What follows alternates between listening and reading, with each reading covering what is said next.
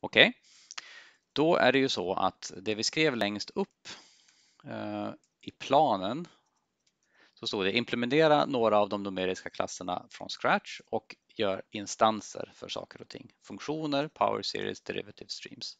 Hittills har vi fyra typklasser och alla typklasser som sett som mängder av typer så har de exakt ett element och det är typen real. Och det blir inte särskilt roligt i längden så vi vill göra fler instanser. Så låt oss se vad mer vi kan hitta på som instans. Jag har, ja just det, ja, vi kan ta det sen. Ehm, så här då, instanser, eh, ja, instans för funktioner. Det pratade vi om för ganska många föreläsningar sen, men det kan vara bra att repetera.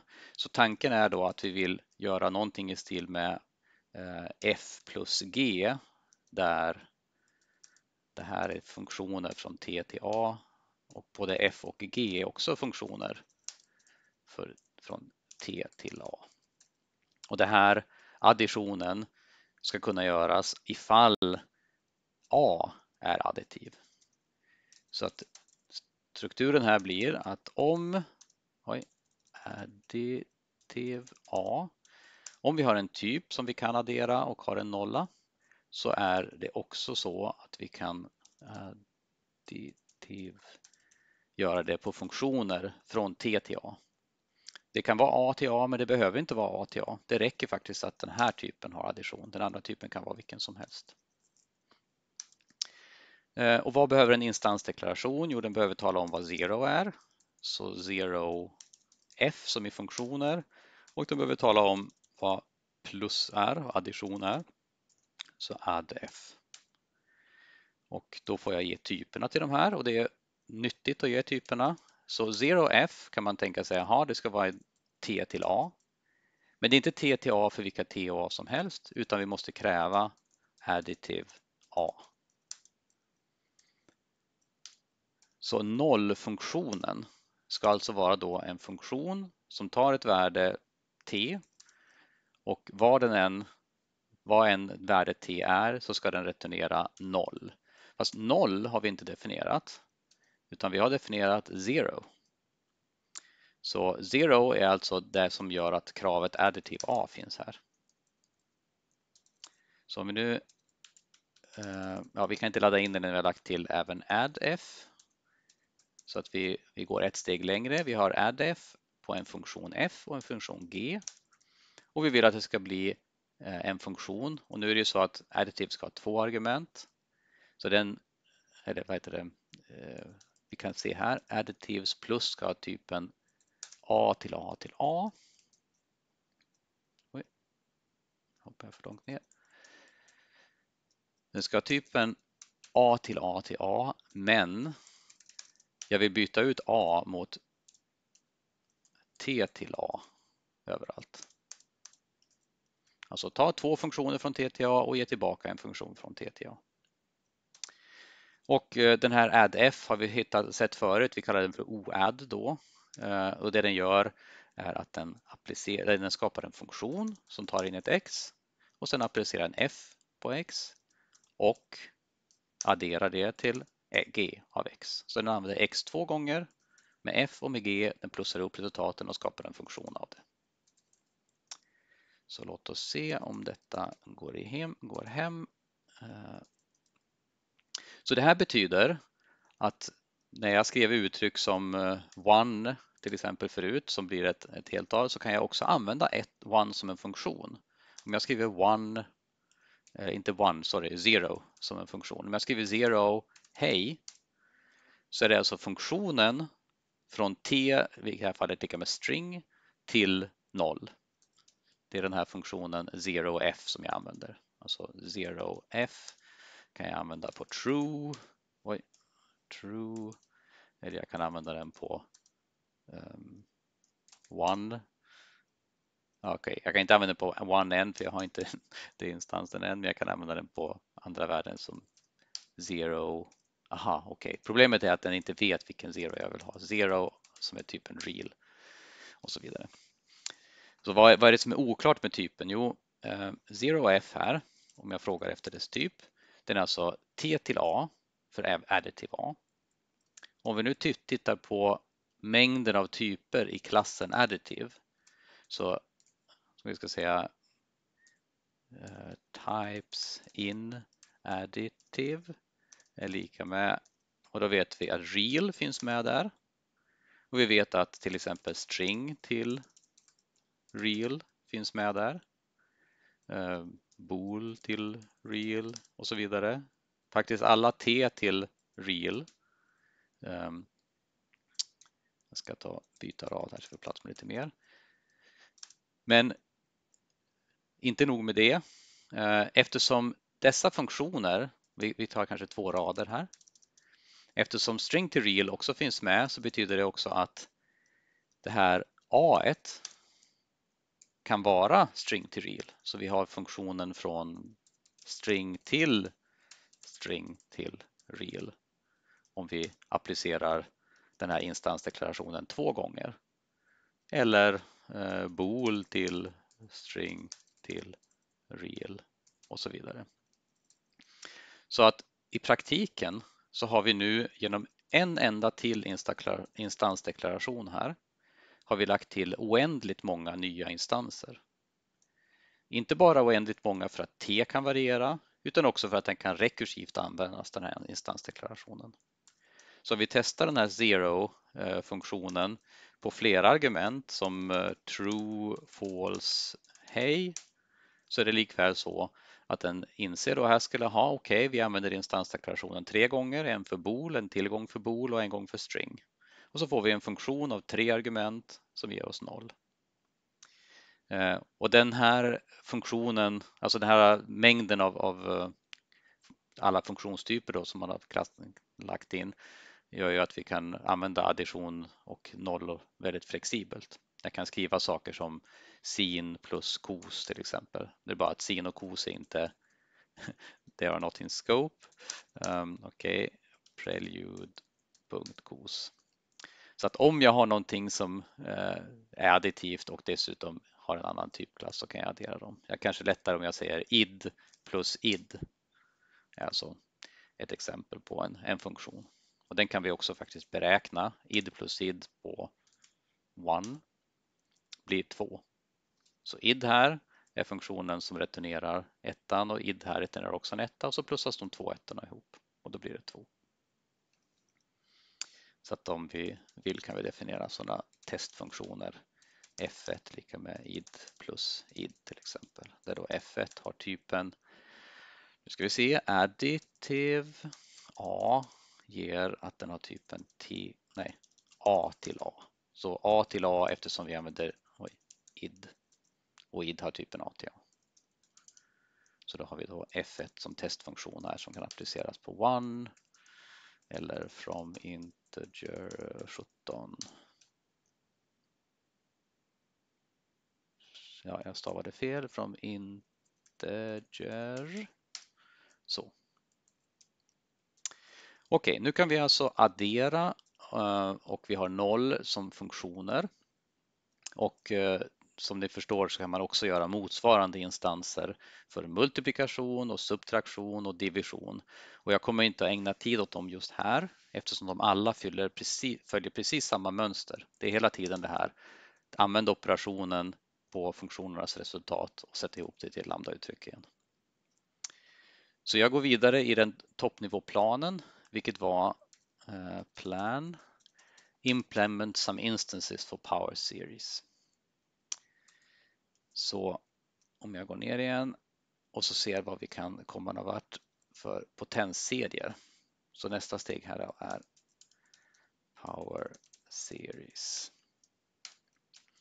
Så innan jag gör det så ska jag införa de här praktiska synonymerna för typklasserna ehm, så man klumpar ihop några av operationerna.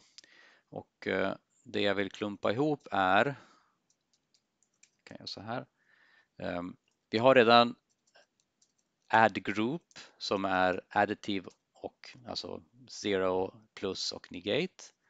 Och sen om vi vill lägga till också multiplicative så kan vi göra en deklaration som ser ut så här.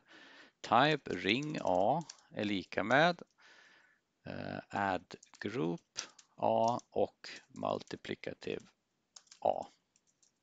Och nu bara så notera, det här är lite grann abuse of notation. Det här är inte klassisk Haskell. Eh, det är en utvidgning som jag har lagt in här som kallas för constraint kinds. Och det är, vi kan säga att den, den utökningen kan ge en massa kraftfullhet, alltså kraftfulla saker, men egentligen är det här en, en eh, det är bara för, av praktiska skäl jag vill göra det här. För det här går att göra utan den utvidgningen. Men då blir det lite osnyggt. Jag kan nämligen skriva class eh, och som är ett sån här superklass då.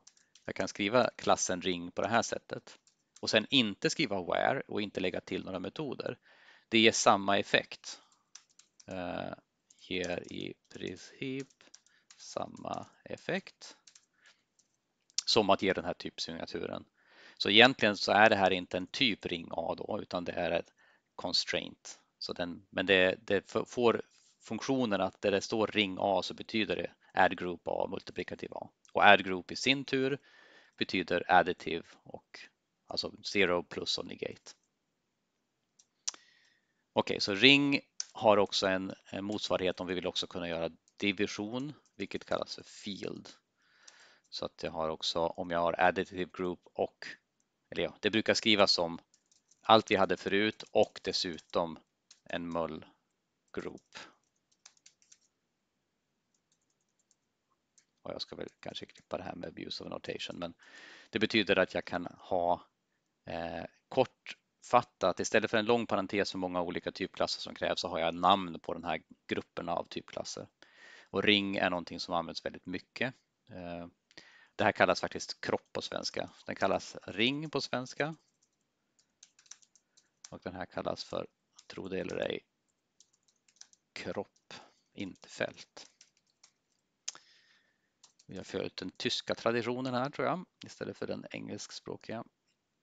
Okej, så med de här två så ser det ut som att vi introducerar två nya typklasser, ring och field, men egentligen kan vi säga typsynonymer för existerande kombinationer av typklasser. Och om vi då går ner till Power, Power Series. Um, ja just det, vi hade en användning av den faktiskt redan. Vi ska se den användningen ring där. Nu när jag har den typsynonymen så kan jag kommentera ut den här andra istället. Eh, ska vi se om detta fungerar som det ska. Så att R1 ehm. ja, den har den kanske förenklas tillbaka igen då. Ehm, men i alla fall så typen på R1 eh, som vi har angett som ring här är alltså expanderas ut i add group och multiplicative. Och det gör att det är lite, lite kortare att skriva. Ehm, just det, vi kan ju testa R1 förresten också på funktioner. Så vi sa nu att, att den här fungerar för alla ringar och då borde det gå att använda den på funktioner också. Eh, enda problemet i nuläget är att vi har bara gett en enda instansdeklaration. Så om vi testar att använda den här på funktionen id så kommer den att säga okej, okay. den kommer att säga två saker. Eh, den gillar inte riktigt typsignaturen för den är lite för polymorf. Men om vi säger id från real till real Ja, okej. Okay. Och sen så dessutom så har vi inte applicerat på tillräckligt många argument. Så att om vi tittar på typen på det här uttrycket. Ja, då kommer den fram till det felmeddelande som jag hade förväntat mig, nämligen att vi har inte gjort någon instans för add group på funktionen än. Det som jag sa att vi kan hoppa över klagar den på. Så jag tror att jag kommer att eh, för att undvika det klagomålet lägga in den instansdeklarationen här.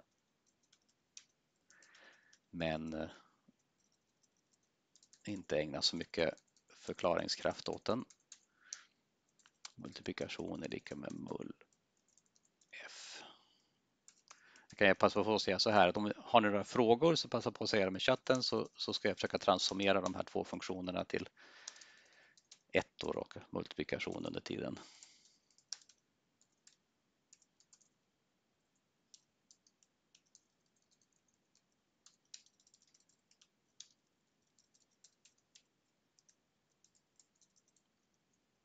Inga frågor?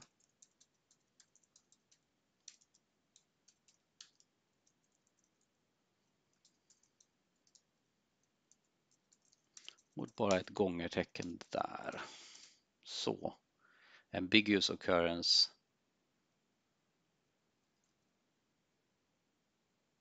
Var var det ambiguous occurrence? Ah, eh, det här var, var sorry, lite förvirrande. Jag, jag har kopierat raden och ändrat till one och mull, men jag har inte ändrat eh, eh det som jag gör instans av. Det ska stå här. Oj. Additive byts ut mot multiplicative. Så. Okej, okay, nu är det en sak kvar som den klagar på och det är add group.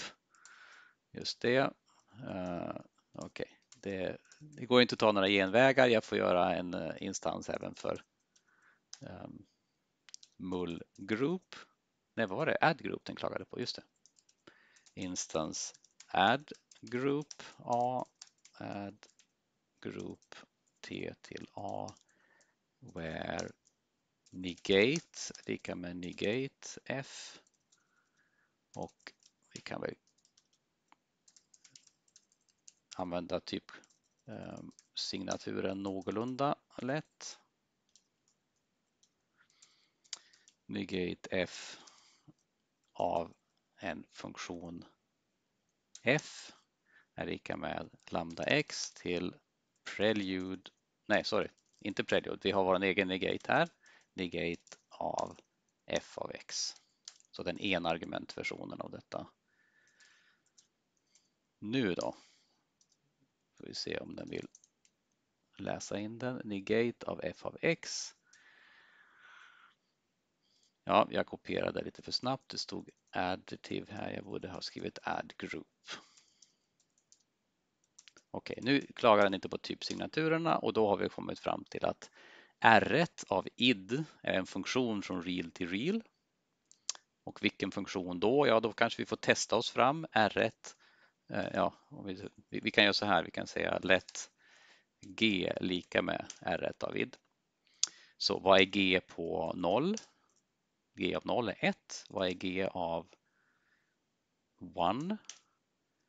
g av 1 är 0. Så att det här är alltså, oh ja, om vi nu försöker något lite mer intressant uttryck, 1 plus 1 då är den 1 igen och mera uh, lite större tal from integer 7 så har vi värdet 36. Och var kommer 36 ifrån? Jo, vi hade en definition av R1 här som x minus 1 gånger x minus 1. Alltså 7 minus 1 blir 6 gånger 6 blir 36. Så vi har alltså eh, funktionen R1 här som om vi använder den på from integer integer 7 ger 36. Vi kan också använda R1 på funktionen, i det här fallet id, vilket inte är kanske så jätteanvändbart och sen applicera den på ett värde. Så vi kan alltså arbeta med funktioner, kvadrera dem, skicka med dem som argument och subtrahera saker. Och man kan ju undra vad som händer här, men det, är ju, det som händer är att one tolkas som en funktion som konstant ger 1. Minus är punktvis och gånger är punktvis. Så alla de här operationerna lyfts till funktioner. Men det här var egentligen tänkt att vi skulle prata om Power Series och jag bara introducerade de här ringbegreppen emellan. Så jag tror jag tar eh, och går tillbaka ner till den. Vi kan ha det här exemplet också in, inlagt så vi ser. Eh, det första exemplet som inte är ett heltal. Eh, okej, okay, då får vi definiera to också. Är det någon som har ett förslag på vad to har för typ?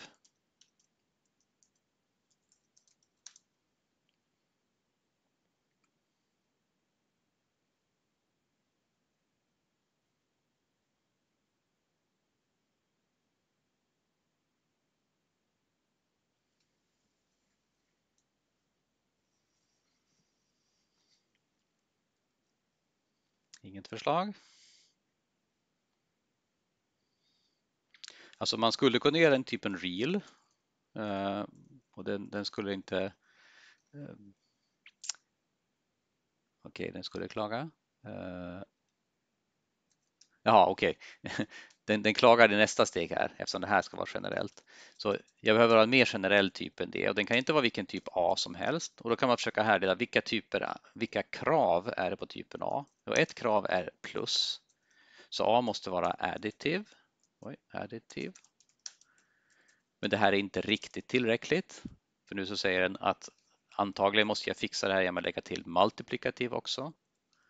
Så att A behöver både vara additive och multiplikativ.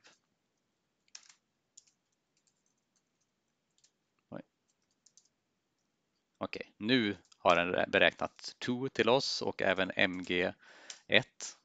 Bättre namn på MG1 kanske skulle vara half. Och här är då första användningen av begreppet field. I alla fall, jag kan ge generiska konstanter här som kan sedan ges olika typer beroende på var jag använder dem någonstans. Power series. Så Power Series har vi jobbat med ett par veckor. Eh, vi har sett att man kan definiera listor av koefficienter för att hålla reda på Power Series. Och jag kommer att göra detta med en new type, jag bara kallar för P. Så P av A har en konstruerare P och en lista A. Och så gör jag deriving, show och EQ bara för att kunna lättare arbeta med dem. Okej. Okay. Och den här typen P kan jag förstås nu inte addera om jag försöker göra, jag kan skapa värden av den. Jag kan skriva så här till exempel. Eh, men jag kan inte skriva P ehm, plus ehm, zero. Och då kommer den att klaga att eh, ja, förutom att den inte gillar min typform så gillar den inte att det finns ingen instans för P. Så jag skulle vilja komma till en deklaration där det står instance additive P av A. Men som ni kan gissa så behöver jag ett krav för att det ska funka och det är att A ska vara additive. Så att om vi har en koefficienttyp som är additiv så kan jag göra polynom som är additiva. Och det, det kanske finns då att tanken någonstans med polynom är att semantiken, eh, semantiken är funktioner ja, A till A. Så att polynomet är en lista av A, men det är tänkt att representera en funktion från A till A. Och det är en mer konkret representation som jag kan arbeta med istället för funktioner som är lite mer abstrakta. I alla fall, jag behöver en nolla och jag kallar den 0p och jag behöver en, en additionsoperator som jag kallar för addp.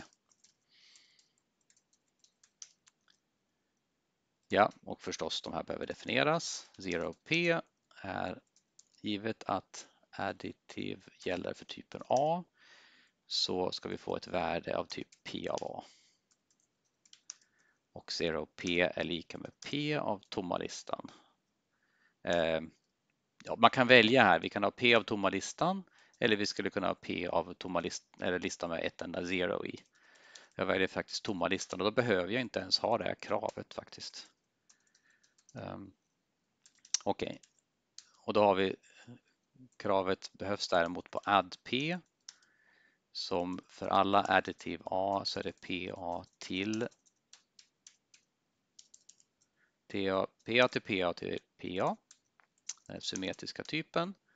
Och add-P, ja, här har vi då inte så mycket val. Eftersom det är en new type så finns det en enda konstruerare P, så vi vet att första argumentet är ett P.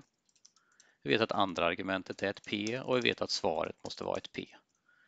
Och jag gillar då att, att eh, delegera jobbet till en inre funktion. I det här fallet kallar jag den för add L, L som är lista, XS, YS. Och add L har en väldigt snarlik typ. Om jag byter ut P mot L. Oj. Så. Så är det tänkt att den ska ha den typen, men vad är då L? Ja, då kan jag ge en typsynonym och säga L är listor. Den här syntaxen här, alltså det, det betyder list, construct, list type constructor.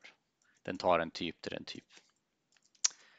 Okej, okay, så add L av en verklig lista och då vet vi i de här fallen att um, om vi har en tom lista och någonting längre, då ska det bli den längre. Om det är en eh, lista och en tom lista så ska det, ja, det, det, den längre listan ser de här två egentligen. Och det sista fallet, om vi har två listor som inte är tomma, så blir det då, ja, det blir summan av de två första. Det blir alltså x plus y följt av summan av svansarna. Och summan är vi, håller vi på att definiera här så att add L av svansarna XS och YS. Låt oss se om den här gillar det vi har skrivit. Ja, och jag hade ju eh, tidigare skrivit den här, kallat den för zip with longer eh, av plus. Så att det skulle vara alternativt att skriva zip with longer här. Men det här är då add på polynomversion och här på listnivån och det är egentligen allt jobbet görs ju på add i add-l-funktionen. Okej, nu har jag en instansdeklaration så det jag försökte skriva förut med P1 plus 0 fungerar nu plötsligt. Så den här nollan som är till höger här konverteras till ett polynom. Plusset arbetar på polynom och det här är ett polynom som jag har skrivit in eh, för hand. Då. Och som ni kan eh, gissa så vill man gärna ha instanser även för multiplikation. Jag kan fylla i den strukturen på en gång. Och det är alltså additiv ska bytas mot multiplikativ. Och då är det inte zero som ska definieras utan one. Och det är inte plus utan det är gånger. Och nu kan jag utnyttja mina typer här uppe. Jag kommer att få ändra dem en del. Uh, oj, där hade vi den. Um, så det här är alltså inte 0p utan 1p och det här är inte add utan mull. Och då kravet här är förstås inte additiv utan multiplikativ med mera. Och här eh, behöver vi kravet multiplikativ A för att kunna komma igenom. Så vad är 1p? Ja, det är ett polynom som innehåller ett enda element som är 1. Notera att jag skriver inte 1 här utan jag skriver 1 eftersom jag vill använda multiplikativ-instansen en nivå ner. Så om jag nu, ja, nu kan jag, jag kan inte riktigt än ladda in den. Jag får fylla i den här i alla fall med en error to do. Um, då kan jag i alla fall ladda in den och så kan jag testa i, i det här fallet istället att skriva 1 plus 0. Okej, okay, 1 plus 0 som default så blir det ett, um, ett, en real. Men om jag kräver att det här ska vara ett polynom av real, då blir det ett real polynom istället. Ni kan ju fundera över rasten vad, så, vad det här betyder. Ett polynom av polynom av real eller ett polynom av eh, funktioner till polynom av real. För alla de här exemplen är saker som, som kan implementeras med de typklasser vi har hittills. Okej, okay. eh, jag kommer, jag hinner väl på en minut kanske i alla fall fylla i mönstret för den här. Så vi har även här då en p-konstruerare vi behöver komma, oss, komma igenom. Och här antar jag att det finns en mull L för XS och YS som har en väldigt snarlik typ och som vi kommer också behöva justera senare. Och då flyttar jag ner mitt eh, uh, error efter paus till hit och ser om jag kan ladda in den. Sorry. Uh, Okej, okay. nu var det något stort och komplicerat filmmeddelande som jag kanske bara kan snabbt eh, tolka. Um, just det, jag har ändrat um, jag har inte ändrat typen. Jag kopierade ner och sen borde jag gjort den här ändringen att eh, P ska bytas mot L. Oj. Mull L. Nu är den nöjd. Så det finns förstås fortfarande saker att implementera, men vi har något som i alla fall typcheckar så här långt. Okej, då tar vi paus och fortsätter igen kvart över.